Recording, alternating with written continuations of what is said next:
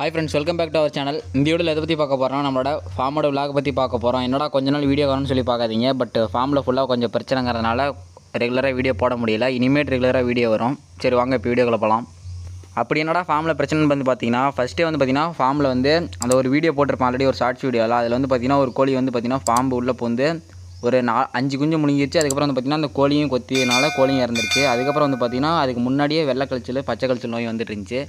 Already vaccine பண்ணி வச்சுருந்துமே அந்த நோய் வந்துச்சு. அதுக்கப்புறம் வந்து பார்த்தீங்கன்னா கோழி இப்போ ஒரு சேவல் வந்து ஒரு மூணு கிலோ இருக்குன்னா ஆட்டோமேட்டிக்காக ஒரு ஒன்றரை கிலோ வந்து சைடில் இருக்க அந்த உடலில் இருக்கிற கறியில் வந்து பார்த்திங்கன்னா அப்படியே ஃபுல்லாக இழைச்சி அந்த மாதிரி சாகர நோய் வந்துச்சு. அதெல்லாம் ட்ரீட்மெண்ட் நாங்களும் புதுசு புதுசாக என்னென்னவோ பண்ணி பார்த்தாலுமே அது கேட்கல.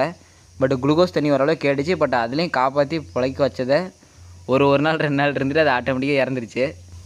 இந்த மாதம் மட்டும் வந்து பார்த்திங்கன்னா ஏகப்பட்ட நட்டை நம்ம ஃபார்ம் ஃபுல்லாக வந்து பார்த்தீங்கன்னா காலேஜ் போயிட்டு வந்து ஈவினிங் வந்து பார்த்திங்கன்னா டெய்லியும் ஃபுல்லாக மெடிசன் கொடுக்குறதே பொழப்ப போச்சு. காலேஜ் ஒரு வாரம் லீவ் போட்டுலாம் மெடிசன் கொடுத்துட்டு இருந்தோம். பட் அப்பயுமே காப்பாற்ற முடியாமல் போயிடுச்சு இப்போ வரக்கூடிய நோயில் வந்து பார்த்தீங்கன்னா ஃபுல்லாக ஒரு பத்து வருஷம் எக்ஸ்பீரியன்ஸ் இருபது வருஷம் எக்ஸ்பீரியன்ஸ் ஆளாகவே இருந்தாலுமே புது புது நோயாக டிஃப்ரெண்ட் டிஃப்ரெண்ட்டாக காலநிலை மாற்றத்துக்கு ஏற்ற மாதிரி புது புது நோயாக வருது. இந்த அனுபவம்லாம் எங்களுக்கே கிடைக்கலன்னு வச்சுக்கோங்களேன். இப்போ தான் நாங்களே புதுசு புதுசாக கற்றுட்ருக்கோம் பட் புதுசாக வர பணியாளர்கள்லாம் என்ன பண்ணுவாங்கன்னே தெரியல இந்த மாதிரி சூழ்நிலையில். இப்போ வந்து பார்த்திங்கன்னா அந்த உடல் உருகி சாகிற நோயில் வந்து பார்த்திங்கன்னா இப்போ தான் புதுசாக வருது. எல்லா ஃபார்மில் இருக்கிறவங்க எல்லாருமே இதை இதை தான் புலம்பிகிட்டு இருக்காங்க எப்படி அதை ரெடி பண்ணுறதுன்னு தெரியாமல் இப்போ வந்து பார்த்திங்கன்னா நம்ம ஃபார்மில் வந்து பார்த்திங்கன்னா ஒரு டோட்டலாக ஒரு இரு பத்து பதினஞ்சு கோழிக்குள்ளே தான் இருக்கும். இப்போ பாதிக்கு பாதி அப்படியே டோட்டலாக அவுட் ஆயிடுச்சுங்க ஒரு நாலரை கிலோ சேவல் ஒன்று இருக்கும். ஆல்ரெடி நான் ஒரு வீடியோவில் போட்டிருப்பேன். அந்த சேவல் வந்து பார்த்திங்கன்னா அப்படியே இறந்துருச்சு அது கூட இருந்த விட டோட்டலாக எல்லாமே இறந்து போயிடுச்சு ஒரு சில கோழியில் வந்து பார்த்திங்கன்னா எதுவுமே கண்டுக்காமல் சும்மா விட்ருக்காங்க அந்த கோழிலாம் நல்லா டெவலப் ஆகுது. பட் நம்ம வந்து எல்லா வேக்சினும் போட்டு இது ரெகுலராக வந்து பார்த்திங்கன்னா மெடிசன் தண்ணியில் கலந்து வச்சு அதுக்கப்புறம் ஃபீல்டில் கலந்து வச்சு எல்லாமே பண்ணிகிட்டு இருக்கோம். அதுக்கப்புறம் வந்து பார்த்திங்கன்னா கருவாடு கடலக்கொட்டை கம்பு இந்த மாதிரி எல்லாமே போட்டுட்ருக்கோம் பட் நம்ம கோழி இது வந்து பார்த்திங்கன்னா நோய் அஃபெக்ட் அதிகமாக சீக்கிரமாக பறகுதுன்னு வச்சுக்கோங்களேன். இப்போ ஒரு கோழி வந்ததுக்கப்புறம் பிடிச்சி தனிமைப்படுத்தினீங்கன்னா இன்னொரு கோழி ஆட்டோமேட்டிக்காக அடுத்த நாளுக்கு அதே ரெடியாகி குறந்து உட்காந்துட்டு இருக்கு. இந்த சேவல் மாதிரி வந்து பார்த்திங்கன்னா ஆல்ரெடி முன்னாடி போன விழாக்கெல்லாம் பார்த்திங்கன்னா ஒரு பெரிய சேவல் இருக்கும். அது வந்து பார்த்திங்கன்னா ஒரு நாலரை கிலோ வந்துச்சு சரியாக நாலரை கிலோ இருந்துச்சு. அது எப்படியும் ஒரு அஞ்சு ஆறு கிலோ ஒரு லைனு அதெல்லாம் வந்து பார்த்திங்கன்னா எப்படி இறந்துச்சுனே தெரில எங்களுக்கு. நாங்களும் முடிஞ்சளவு ட்ரீட்மெண்ட் பண்ணோம். எந்த அளவு ரிஸ்க் எடுத்து பண்ண முடியுமோ அந்த அளவு பண்ணோம். பட் அதையும் காப்பாற்ற முடியல. அதுக்கப்புறம் வந்து பார்த்திங்கன்னா இப்போ புதுசாக இன்னொரு நோய் வந்து ஜீரணமாகாத ப்ராப்ளம் இப்போ மழை வந்து வந்துகிட்டே இருக்குல்ல அதனால் ஃபுல்லாக வெறும் கம்பம் மட்டும் வச்சிங்கன்னா ஜீரணமாக வாய்ப்பே இல்லை. அரிசி அதுக்கப்புறம் வந்து பார்த்திங்கன்னா எளிதில் ஜீரணமாகக்கூடிய அரிசி வச்சிங்கன்னா மட்டும்தான். ஃபீடு அதை வச்சிங்கன்னா மட்டும்தான் ஜீரணமாகதே தவிர வெறும் கம்பியே வச்சாலும் அப்படியே இருக்குது இன்றைக்கி கூட வந்து பார்த்திங்கன்னா ஒரு கோழி பிடிச்சி கம்பி தான் வச்சுருக்கேன் ஜீரணம் ஆகாமல் அதுக்கு வந்து பார்த்திங்கன்னா அந்த ஓமம் மாற்ற சொல்லுவாங்க பார்த்தீங்களா அதை மூணு வேலையை விட்டுட்டுருக்கு ஒரு பாதிக்கு பாதி ஊட்டி கரைஞ்சிருக்கு. மீதி இருக்குது அடுத்து வந்து பார்த்திங்கன்னா இப்போ ஃபார்மில் வந்து ப்ரீடிங் ஸ்டாக்கான விடையும் அதிகமாக கிடையாது.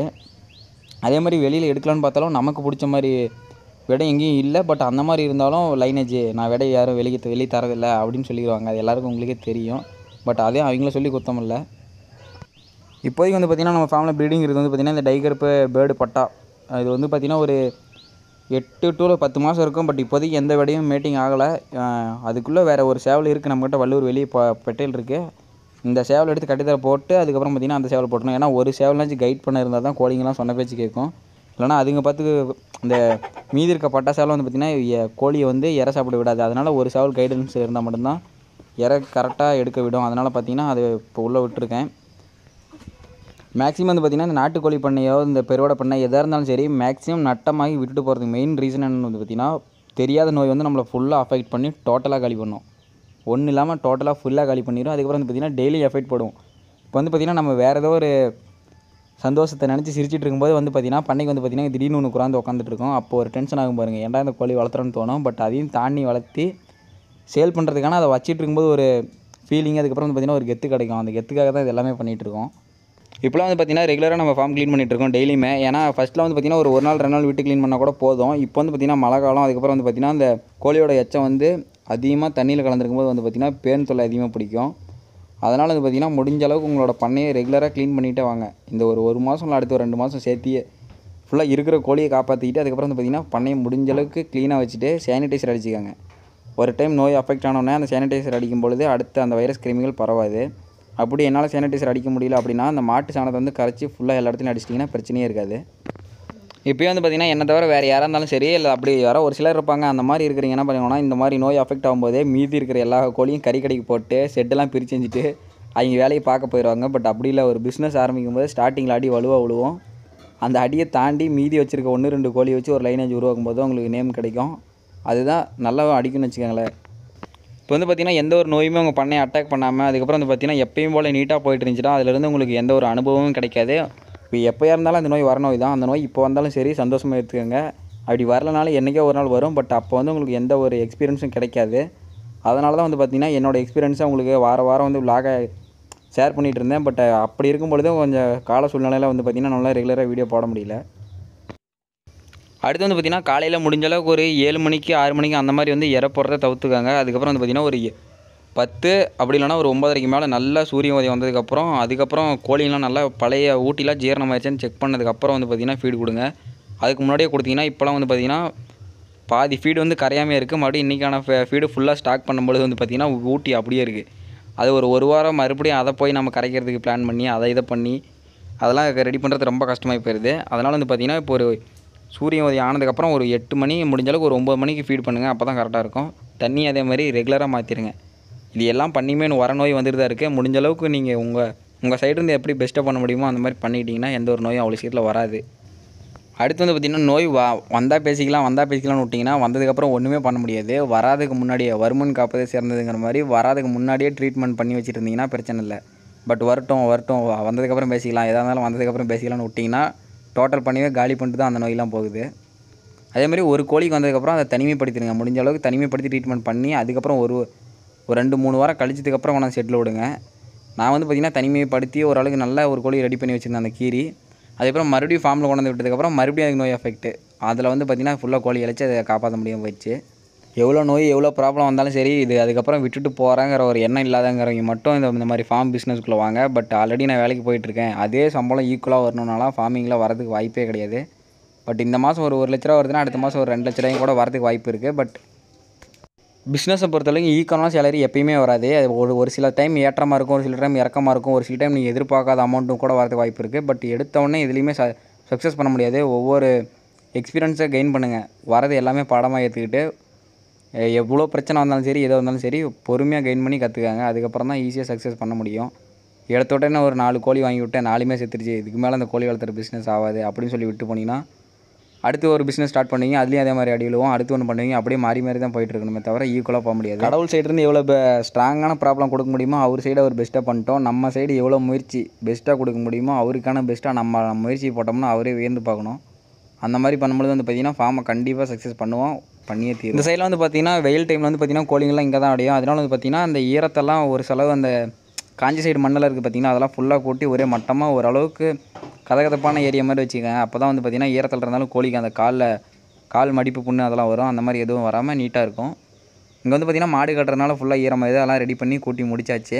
நெக்ஸ்ட் வந்து பார்த்திங்கன்னா இப்போ நம்ம ஒரு கம்பேக் கொடுக்கணும் பார்த்திங்கன்னா அதனால வந்து பார்த்திங்கன்னா அதுக்காக இந்த செட்டு இப்போ வந்து பார்த்திங்கன்னா இது ஒரு கட்டுத்தர மாதிரி ஆறு சேவல் கட்டிக்கலாம் ரேக்கு ஸ்ட்ரெயிட்டான அட்டையை ஜாயின் பண்ணி ஜாயின் பண்ணி டோட்டலாக ஒன்று ரெண்டு மூணு நாலு மேலே ஒன்று அஞ்சு அட்டை எடுத்து ஒரு ஆறு கூண்டு ரெடி பண்ணியாச்சு.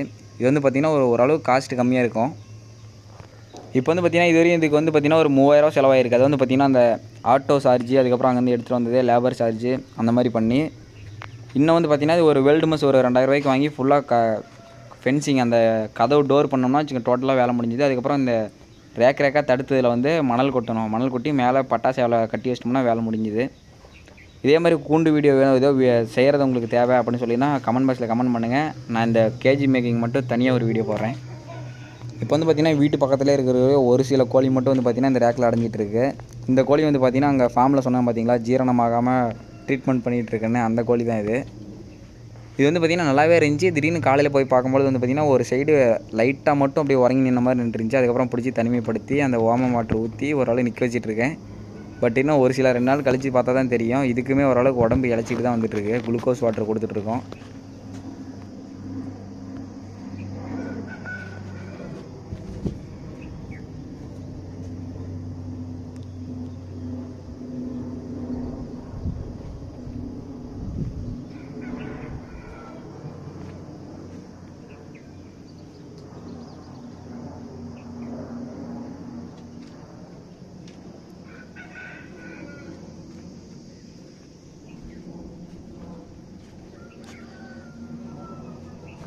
நெக்ஸ்ட் வந்து பார்த்தீங்கன்னா இதான் இப்போ நம்ம புறா கேஜ் ஆல்ரெடி பழைய வீடியோ ரெகுலராக பார்த்துருப்பீங்கன்னு தெரியும். பட் புதுசாக பார்த்தீங்கன்னா இதான் பார்த்துக்கங்க. இதான் நம்மளோட புறா கேஜ் இது வந்து பார்த்திங்கன்னா இப்போ கோழியில் ஃபுல்லாக நட்டானாலும் புறாவில் ஓரளவுக்கு ஈக்குவலாக வந்துக்கிட்டே இருக்குது இந்த மாதம் ஒரு ரெண்டு மூணு மாதம் வந்து பார்த்திங்கன்னா கோழி எந்த ஒரு சேலுமே பண்ணல. பட் புறா வந்து பார்த்திங்கன்னா ஒரு மூவாயிரம் கிட்டத்தட்ட வித்தாச்சு.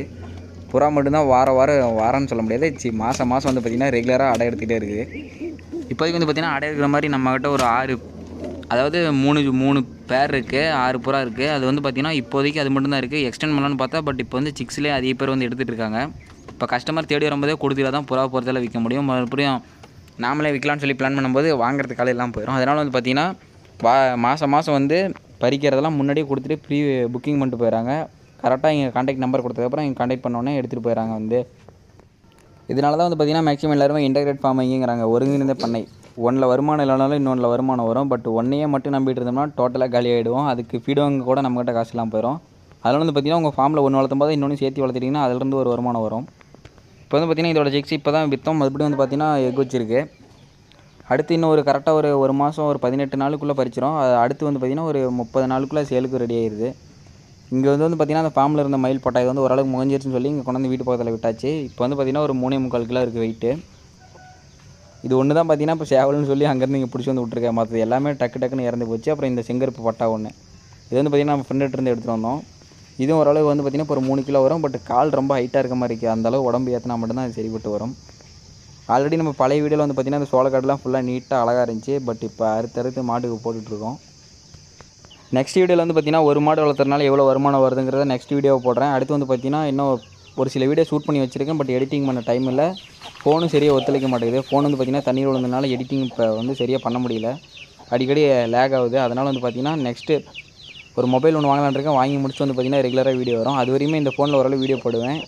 இந்த ஃபோனை ஏன் கொடுக்க மனசு சொல்லணும்னா கேமரா ஓரளவு கிளியரன்ஸாக இருக்கனால வந்து பார்த்திங்கன்னா இதிலே போட்டுட்ருக்கேன்னு வச்சுக்கோங்களேன். அடுத்து நம்ம ஃபார்மில் இன்னொரு ஃபஸ்ட்டு ஒரு பன்னெண்டு சிக்கு பறித்து அதெல்லாம் பாம்பு பூந்து காலியாகி மீதி அதில் ஒரு ஏழு இருக்குது இப்போ வந்து இதில் வந்து பார்த்திங்கன்னா பரிச்சதை எட்டு தான். பரிச்சதையும் ஓரளவு எட்டையும் காப்பாற்றிட்டு இருக்கோம் பட் மறுபடியும் எப்போ என்ன ஆகுதுன்னு தெரியல. பெருசானா தான் நெசம் இந்த வீடியோ பிடிச்சா நம்ம சேனல் லைக் பண்ணுங்கள் சப்ஸ்கிரைப் பண்ணுங்கள் ஷேர் பண்ணுங்கள் அப்படி இல்லைனா இந்த வீடியோவில் என்னென்ன நிறைய குறை இருக்குன்னு சொல்லிட்டு உங்களோட கமெண்ட் பாக்ஸில் கமெண்ட் தெரிவிச்சிருப்பாங்க. தேங்க்ஸ் ஃபார் வாட்சிங் தேங்க்யூ